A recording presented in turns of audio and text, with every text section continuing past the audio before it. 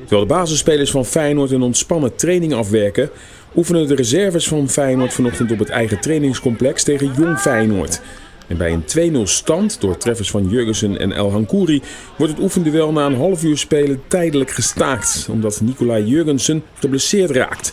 De Deen, die net hersteld is van een voetblessure en afgelopen zondag pas zijn eerste minuten maakte in de competitie, gaat direct naar binnen en laat zich weer behandelen aan zijn voet. Volgens de medische staf van Feyenoord valt de blessure mee en is de kans groot dat hij deze week weer op het trainingsveld te zien zal zijn.